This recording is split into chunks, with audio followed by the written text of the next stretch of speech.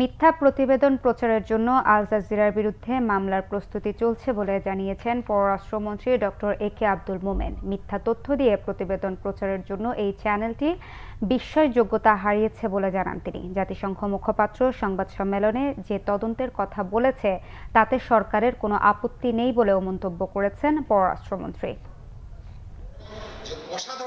রাজধানীর আর্মি স্টেডিয়ামে Exim bank আয়োজিত মুজিব বর্ষের উৎসবে যোগদান পররাষ্ট্রমন্ত্রী ডক্টর এ কে আব্দুল মোমেন। তিনি বলেন, বঙ্গবন্ধু শৈশব থেকেই মানুষের মুক্তির জন্য কাজ করেছেন। তার কারণেই বাংলাদেশ স্বাধীন হয়েছে মন্তব্য করে তিনি বলেন, বঙ্গবন্ধু কন্যার নেতৃত্বে দেশ এখন এগিয়ে যাচ্ছে। পরে সাংবাদিকদের সঙ্গে আল জাজিরা প্রসঙ্গে কথা বলেন তিনি। বলেন গণতান্ত্রিক দেশে বক্তব্য দেওয়ার সময় কেউ পেছনে দাঁড়াতে পারে এটা দোষের কিছু নয়। পেছনে দাঁড়ানো ব্যক্তিকে বডিগার্ড হিসেবে উপস্থাপন মিথ্যাচার বলে উল্লেখ করেন তিনি। আল জাজিরা অনেক ক্রেডিবিলিটি হারিয়ে ফেলেছে এই ধরনের বানোয়াট এবং এই যে টেকনিক্যালি জোড়াতালি দিয়ে করেছে যাতে অনেক তাদের গ্রহণযোগ্যতা হারিয়ে যেখানে তথ্যগত ভুল সেগুলো আমরা উইল রেইজ এবং উই উইল সু আমরা সেটার কাজ করছি। আল জাজিরার প্রতিবেদন বিষয়ে জাতিসংঘ মুখপাত্রের বক্তব্য প্রসঙ্গেও কথা বলেন পররাষ্ট্রমন্ত্রী।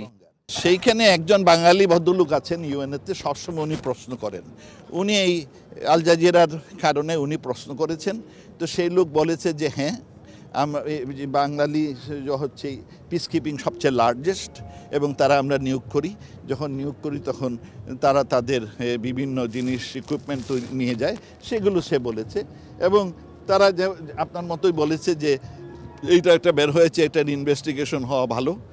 ইনভেস্টিগেশন হওয়া ভালো এতে আমাদেরও কোনো আপত্তি নেই। না তারা চায় নাই আমাদের কাছে। এটা সাংবাদিকের প্রশ্নের উত্তর উনি বলেছেন। আমরা এটা চেক করব আমরা তথ্য দেখব কীরকম বল তবে আল জাজিরার আগেও আমরা দেখেছি যেখানে আপনার ত্রিশ লক্ষ মারা গেছে সে তিন লাখের কথা বলে। তারা অনেক সময় ওইরকম উল্টাপাল্টা তথ্য দেয়।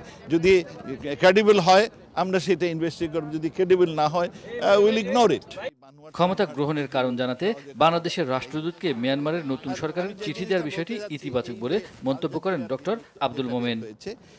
ইমরুল কায়েস বাংলাভিশন ঢাকা।